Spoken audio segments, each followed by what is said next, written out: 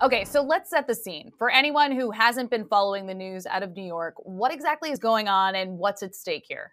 So, the New York Assembly is considering a bill that would essentially ban digital asset mining in the state of New York. It's a moratorium, and they're debating that bill today.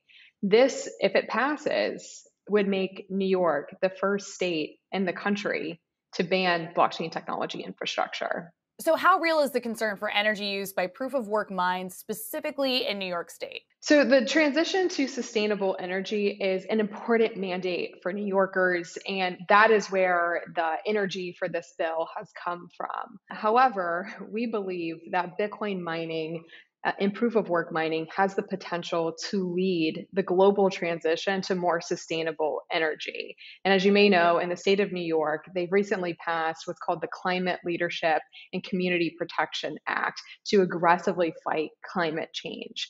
Now, the Bitcoin mining industry is actually leading in terms of compliance with that act, in terms of all energy industries. Um, the, the sustainable energy mix of the global Bitcoin mining industry today is estimated to be just under 60% globally. Now, for the Chamber of Digital Commerce, for our members that are mining in the state of New York, we estimate that that number is closer to 80% today, an 80% sustainable electricity mix. So if the if New York, if their mandate this is the question I have.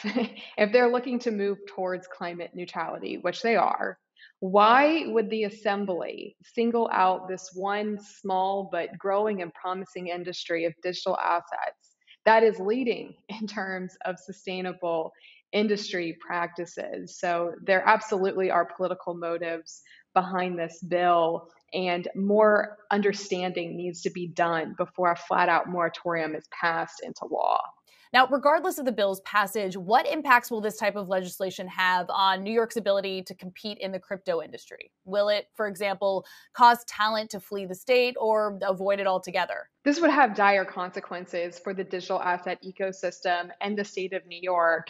Uh, and remember, making the United States a global leader in blockchain technology was a mandate set by President Biden. He just signed an executive order into law setting out a process to do just that. And this bill would be contrary to that. Further, blockchain has been added to the list of critical and emerging technologies in the United States. Coming back specifically to the state of New York, Bitcoin mining operations are providing great jobs for local communities.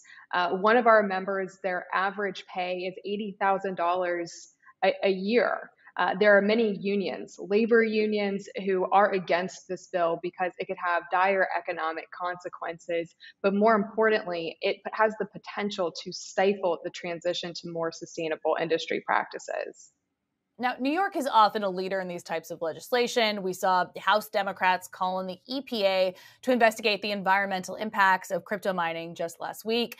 Do you expect more of these bills to pop up in states or even nationally? That is absolutely our concern. New York is absolutely a leader when it comes to state legislation, which is why we have a team on the ground fighting against this bill to make sure this doesn't lead to a copycat issue where you have other states following suit. Uh, we are encouraging members to look at the data. For example, in 2020, just uh, uh, last year, proof of work digital asset mining was estimated to use 188 terawatts of power. That's about 0.1% of global energy consumption, a tenth of a percent. So, what would this bill actually do to reduce emissions? It would not put a dent in it.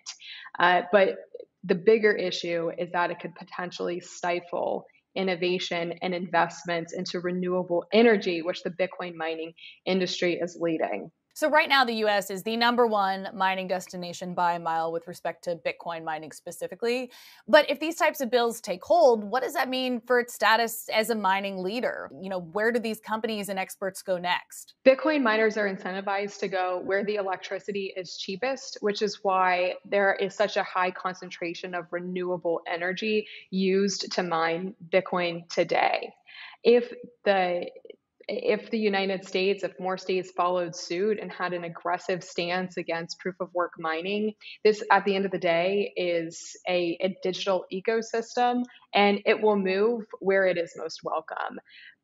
Mining is the infrastructure to blockchains. And I cannot stress how critical it is that these operations for national security and economic security reasons are happening on US soil. We should be embracing this technology. Um, and just one further point the Assembly has already passed a bill that would conduct a study on proof of work blockchains uh, and mining operations and its impact in the state of New York.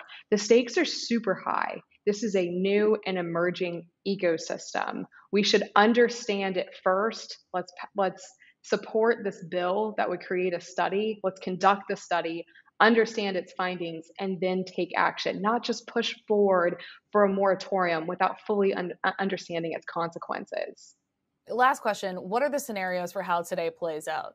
So today, the um, the Committee on Ways and Means is debating this bill. Now, over the past several days, the public, um, citizens of New York, the residents of New York, companies of New York, unions, labor unions, advocates have been in Albany.